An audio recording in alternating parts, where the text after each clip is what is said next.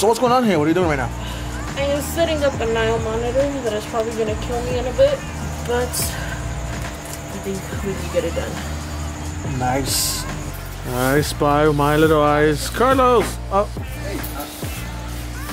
You gotta record her, not me. what is up, you guys? So we're back. It's been a while. But right now, we're at our favorite reptile shop, Reptile Factory. So what's going on right now is my wife actually started working here, right? One of the main bosses is actually teaching her how to handle one of the animals that they're about to put in one of the enclosures. And that animal had be, happens to be a Nile monitor, which I have.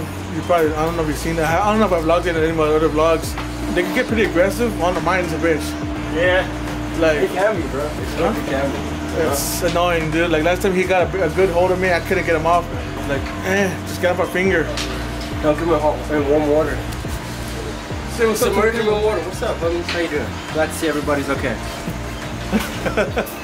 That was Peter. If you want to know anything and everything about any type of uh, reptile that you may have, he's one of the guys to go to. He knows a lot, and I mean a lot. A lot of people will tell you certain things, but you know he'll tell you the correct thing. If somebody ever gives you some knowledge that's incorrect, he will call it out and he will tell you for sure. I'm just here waiting because my wife gets off at nine. I'm not sure what time it is, but we still got some time to kill here, so we're just gonna see what the hell we do and record a little bit of it.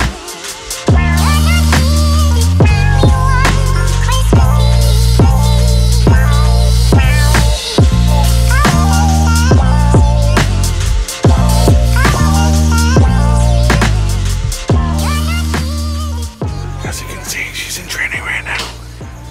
I don't think they can see me. So the guy who's holding it right now, his name is Carlos. He's one of the main bosses here, like I said. And if you see the way he was grabbing that Nile monitor, they can get pretty aggressive sometimes, especially, you know, if they're being introduced into a new environment. You know, obviously they're scared. Sometimes they don't know what's going on, so they're gonna try to attack you, you know, bite you or whip you with um, with their tail. You have to have a certain hold on it and a good grip on it too, because especially the neck area actually, because they turn, it can turn around and bite you on your finger, and especially a good sized monitor kid take a good chunk off your of your skin, you know.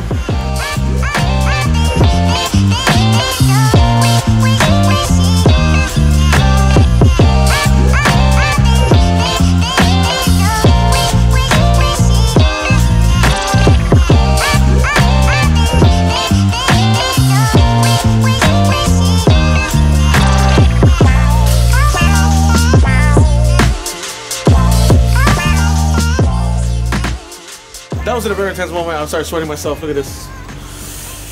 Ah, how did that feel? I need more than just a good.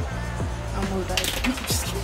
Quick question. Sorry about you, but since starting here, do you feel like you've learned a lot more? Oh yes, definitely. And what would you say is the best thing so far about Reptile Factory? Everything, people, attitudes. It's a great place to work. Sorry, I'm trying to focus in right here. Do you see yourself ever leaving this place? Not anytime soon. I think I'm gonna grow a lot here. I think this has to do with what I plan to do in life. So, I think I'm gonna be here for a while. If not, I'm gonna just age out of here, or I'll die here because I'm gonna get bit by something. And there's a lot of stuff you can get bit by or stung by and probably die. So we all drank Powerade, right? This is a bottle cap from the Powerade. You can more or less figure how well, how big the bottle cap, right, is. So imagine a scorpion uh, that size, and it's a baby. It's called a death stalker, and literally, if you were to get stung by one of these, and how babies uh, can't control how much venom they pump into an animal or a human, you probably have, if there's any hospitals nearby that actually have, um, what's it called, the cure to the venom, you have about half an hour until you're pretty much dead. It's insane. It's literally this damn tiny. Like I said, almost a bottle cap from Powerade size. But it's insane. Just the stuff that can kill you. And it's like it's tiny compared to you. So right now my wife's in training mode and right now behind us she's um, counting stuff that should be counted. So I'm not gonna bother her for a little bit.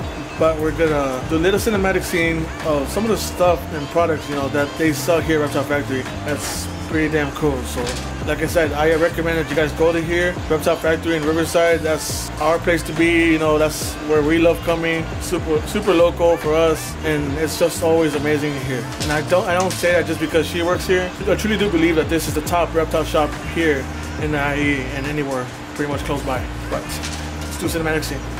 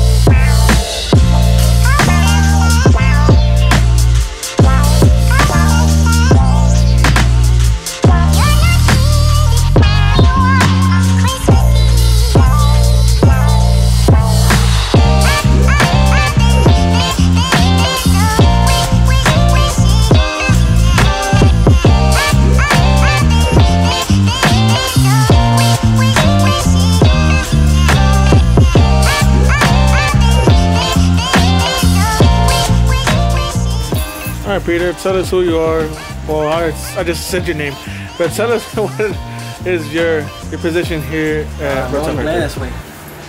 Okay, never mind. I'm a professional animal shit cleaner. All I do every day is clean animal shit, multiple different species, multiple different smells, multiple different textures. Got your back no matter what you got. As you can tell, he is not kidding. As you can see right now, Peter and Monica. Oh my God, he spotted me. I was saying, Peter and Monica are doing their daily duties. I'm just trying to be as quiet as possible so I don't get seen again. Let's, let's watch. Okay, do worry.